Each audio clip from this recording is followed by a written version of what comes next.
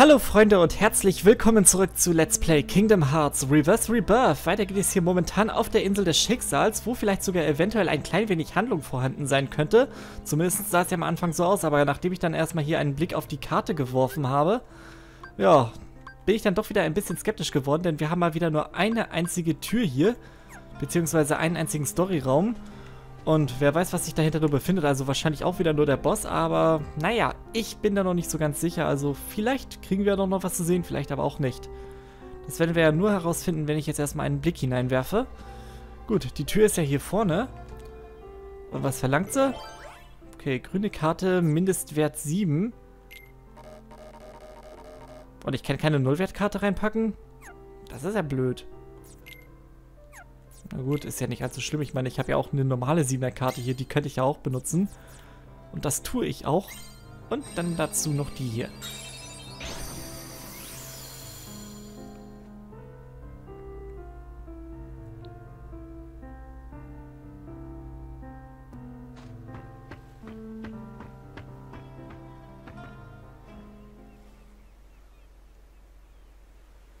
Kairi! Hey Kairi, du etwa auch? Ja, und weg ist sie. Ah. Nein. Du wusstest doch, das würde passieren. Du bist doch schon vorher durch viele Welten aus deiner Erinnerung gereist. Und in diesen Welten sind dir nur dunkle Wesen begegnet. In deinem Herzen sind nichts als dunkle Erinnerungen übrig. Alle deine Erinnerungen an deine Heimat sind weg. Jeder einzelne. Das ist gelogen. Ich erinnere mich noch genau an alle hier. Tidus, Selfie und Waka und auch an Kairi und Zora. Sie sind meine... meine... meine engsten Freunde. Und wer hat diese Freunde links liegen gelassen? Vielleicht hast du ja deine eigenen Taten vergessen. Du zerstörtest deine Heimat.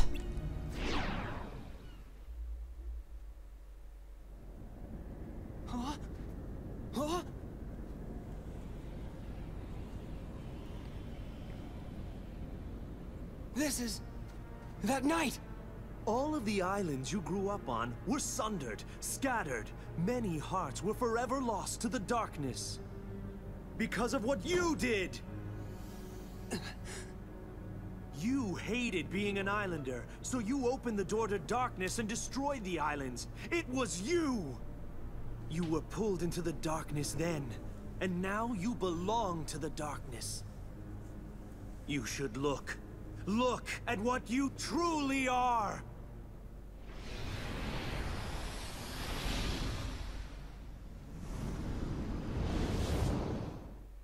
Im Ernst jetzt?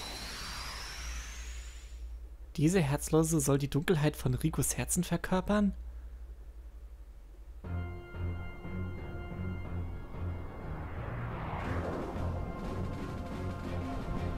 Das, das bin doch nicht wirklich ich!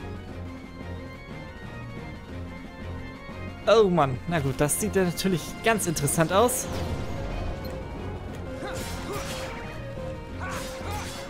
Warte mal, ich brauche mal ein bisschen Verstärkung.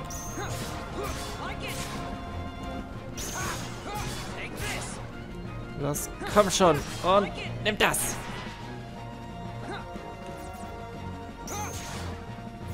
Okay, ich weiß ja schon, denke ich mal, was ich hier machen kann. Oh, ups. Da habe ich ein bisschen gepennt. Ich wollte ja eigentlich ja, dass er diese Attacke macht. Diese soll er allerdings nicht machen. Oh, ups.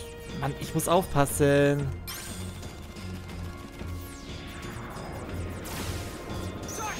Das lässt du mal schön bleiben, Kumpel. Okay, das kannst du machen. Dagegen habe ich nichts. Aua.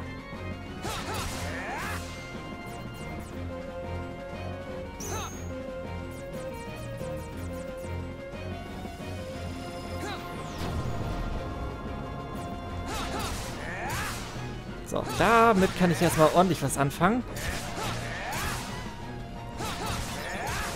Vor allem, weil ich da ordentlich Damage mache. Und dann nehme ich erstmal noch das hier mit rein.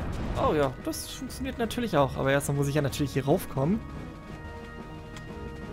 Äh, ja, wenn das mal lassen würde. Ah.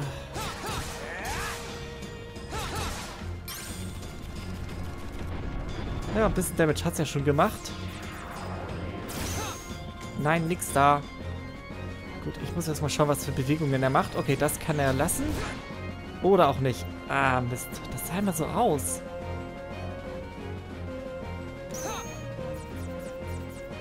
Aber dabei macht er ja eigentlich immer verschiedene Angriffe abwechselnd. Ja. Man sieht's ja. Und geschafft. Naja, das war eigentlich auch relativ einfach. Muss ich eigentlich ja nur seine Bewegungen zunutze machen. Und überlegen, welche Attacken man zulässt und welche nicht. Ja, kein Level-Up? Ja, schade, dann eben nicht. Aber immerhin, wir bekommen die Schattenborn-Karte.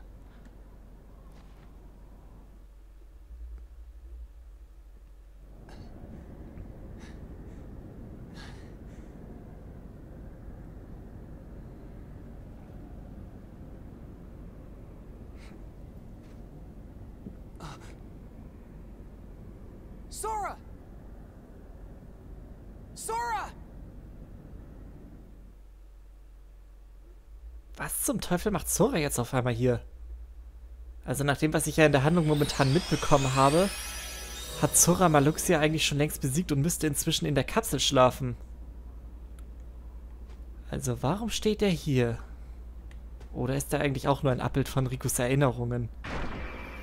Das könnte natürlich sein, aber zuerst einmal gucke ich mal, was hinter dieser Tür ist.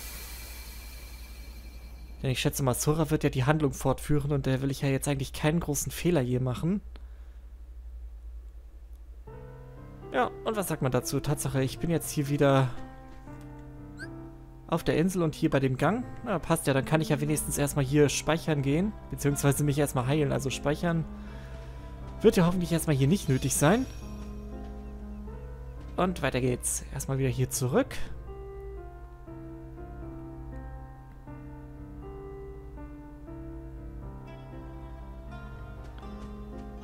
Und dann wieder durch die Tür hier durch. Und jetzt bin ich mal gespannt, was jetzt hier auf mich wartet.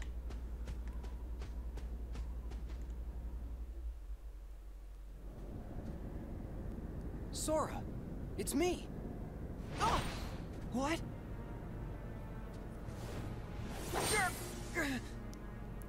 Stop it, Sora! Don't you recognize me? Yeah, I recognize you. I can see exactly what you've become.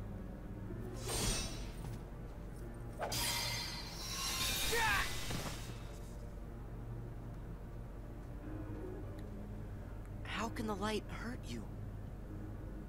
Riku, have you really become a creature of the dark? You're not Riku anymore. You're just a pawn of the darkness.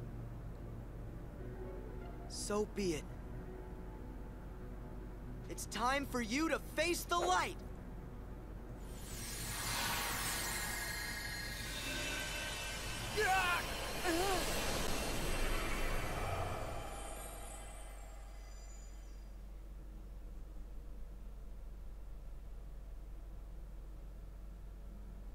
I'm fading. Fading away into the light. You won't fade. You can't fade.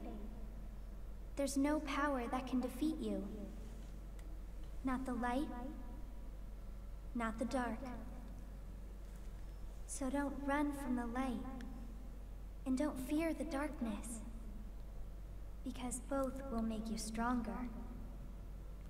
Make me stronger? Darkness too? Yeah, strength that's yours.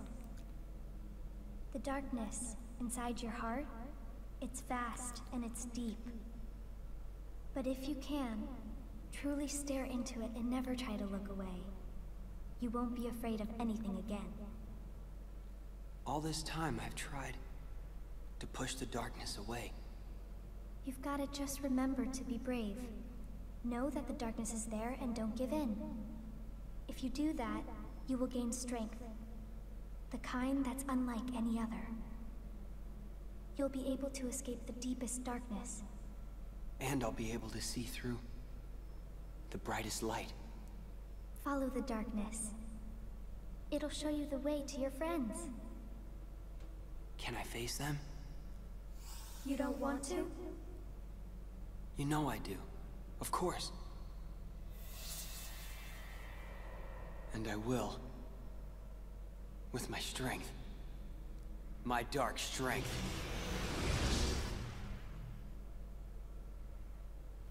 Darkness!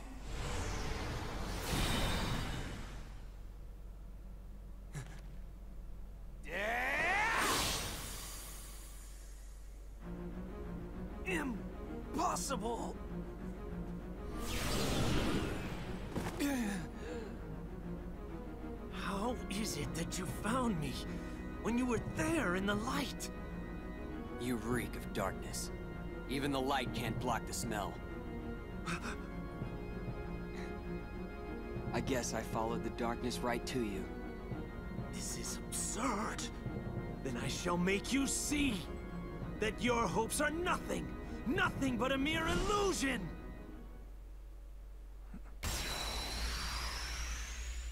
Da liegst du aber völlig falsch. Aber inzwischen hat Rico erkannt, dass die Dunkelheit nichts ist, wovor er sich fürchten muss. Inzwischen ist die Dunkelheit jetzt sein mächtigster Verbündeter geworden. Okay, und dann legen wir mal los. Ich mach mal erstmal hier ein Duell mit dem Sinistra-Bomber der Moor. Nimm das!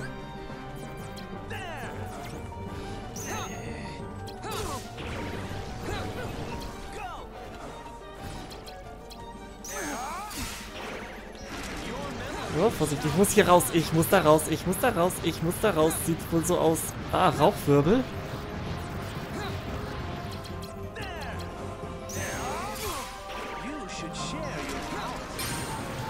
Nee, ich werde meine Kräfte nicht mit dir teilen.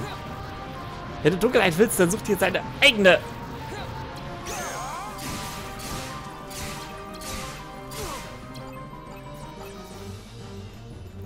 Okay, komm schon. Zeig, was du kannst. Okay.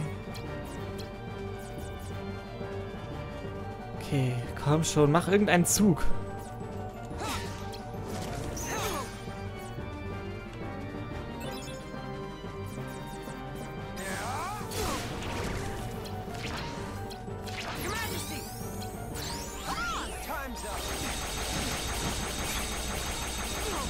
Das macht schon mal ordentlich Damage.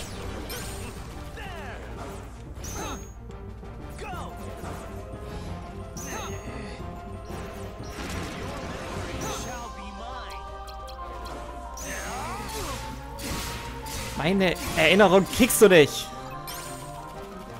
So, ich brauche schnell Mickey. Okay, ich muss hier ein bisschen drauf achten. Obwohl, er hat jetzt gerade nichts Anständiges auf der Hand.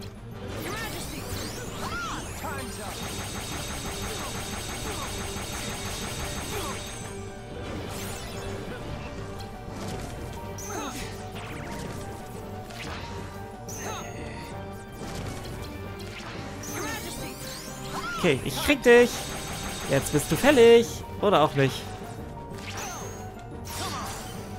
Okay, dann machen wir das mal eben so. So, schnell. Ich muss schnell handeln. Und los geht's. Sinistra Bombardement. Ja gut, er war zu weit weg. Blöd. Aber das hat nicht gereicht. Das ist dein Ende.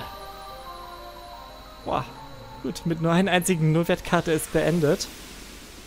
Nicht schlecht. Und ein Level-Up gibt es dafür sogar auch noch. Und natürlich als grünen Abschluss die Sexion-Karte. Bin ich ja mal gespannt, was die so kann. Gut, okay. Und als Bonus, ja, jetzt da es ja wieder verfügbar ist, nehme ich ja natürlich hier die Angriffskraft. Das haben wir uns ja natürlich auch redlich verdient.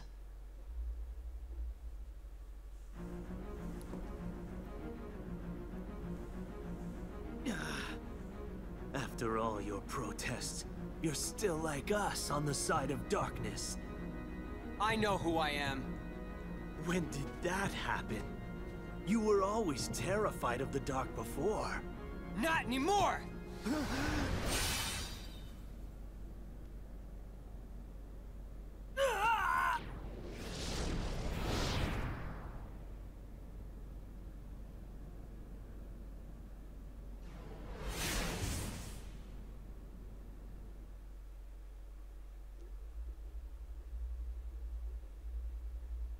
Tja, jetzt bin ich ja nur mal gespannt, was Ansem dazu sagen wird. Rico hat jetzt nur die Dunkelheit in seinem Herzen akzeptiert und nutzt sie jetzt sogar eigentlich ja mit Bedacht. Naja, im Grunde haben wir das ja schon die ganze Zeit getan, indem ich ja ständig hier im Sinistra-Modus gekämpft habe, aber jetzt offiziell eben halt storytechnisch hat jetzt auch Rico selbst die Dunkelheit akzeptiert. Aber ich denke mal, er wird sich trotzdem nicht die einfach so beugen. Tja, bleibt eben halt nur abzuwarten, wie sich das jetzt entwickelt. Gut, äh, ich bin jetzt hier doch richtig, oder? Ja, bin ich. Hier geht's nach draußen. Okay, und ich habe jetzt noch so ungefähr vier Minuten für den Part. Also jetzt hätte ich mal nicht gedacht, dass ich jetzt erstmal hier so viel Story jetzt dafür in Anspruch nehmen müsste. Also da muss ich schon mal sagen, gar nicht schlecht. Da werde ich jetzt wahrscheinlich so ein bisschen Überlänge machen müssen, vor allem weil ich ja jetzt dann auch gleich in die nächste Welt rein will. Aber mal schauen, wie das jetzt, wie ich das jetzt anstellen will.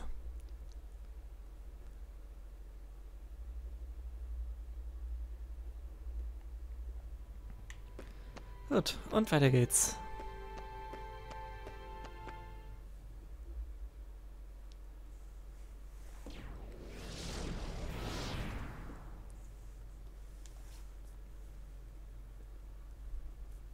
What is he? No one's ever worn the darkness the way that he does. It's impossible.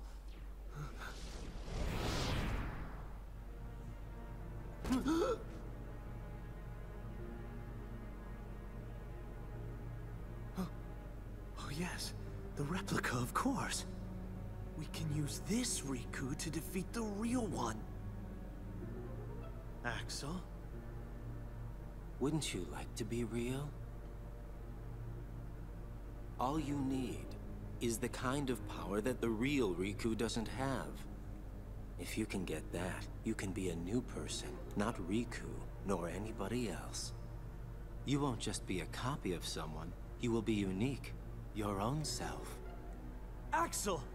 What are you saying to him? You know, he's as good a place to start as any. You can't do this!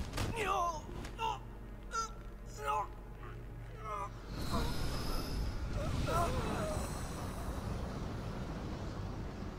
So sorry, Zexion. you just found out way too much.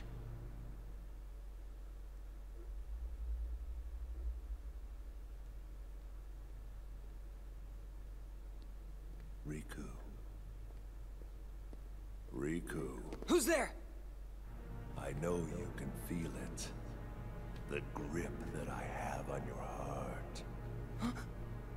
You have led in the darkness, Riku. That means very soon your heart shall become an all-consuming darkness. I'm not like that now. Yes, you are. Can't move. The deeper the darkness runs inside you, the stronger I become. Controlling you is effortless.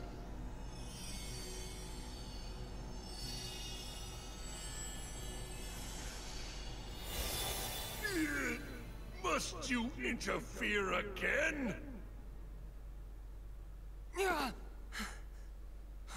Ooh, sure glad I made it in time.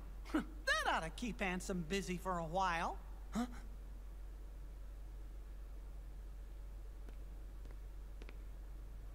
Sorry I couldn't come here sooner, Riku. Your Majesty, is it you? Uh-huh. Whoa! that tickles! This time, you're not an illusion. I'm so glad that you can make it here. I I made a promise to you that I would find a way, didn't I? Oh, Ah, I'm okay. Don't worry. Guess I'm just relieved. I've... I've been alone so long. That having someone else around is... is a little...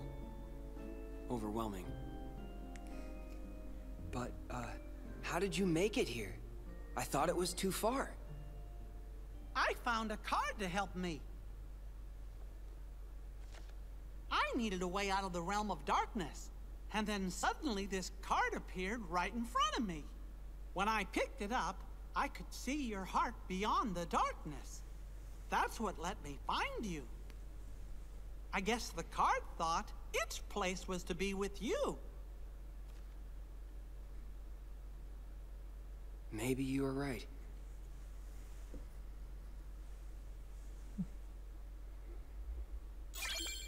Twilight Town.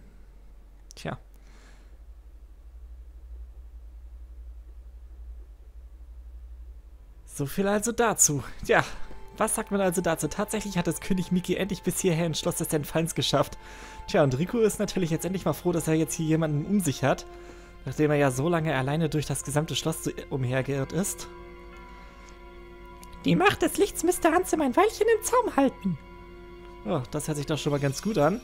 Tja, wir sind ja jetzt hier eigentlich im zweiten Kellergeschoss. Und ja, unser nächstes Ziel wird ja eben nur mal, wie gesagt, Twilight Town sein. Ja, und ich bin eigentlich ja schon ein bisschen... Ich weiß jetzt noch nicht, wie ich das so anstellen soll. Es könnte eigentlich ja sogar gut sein, dass ich mich jetzt sogar im nächsten Part sogar einfach mal jetzt einfach mal so komplett da durchkämpfen werde. Also zumindest bis zum Storyraum hin. Aber ich denke mal, das, Freunde, erfahren wir alles in der nächsten Folge. Also dann, Freunde, wieder mal vielen Dank fürs Zuschauen und bis zum nächsten Mal. Tschüss!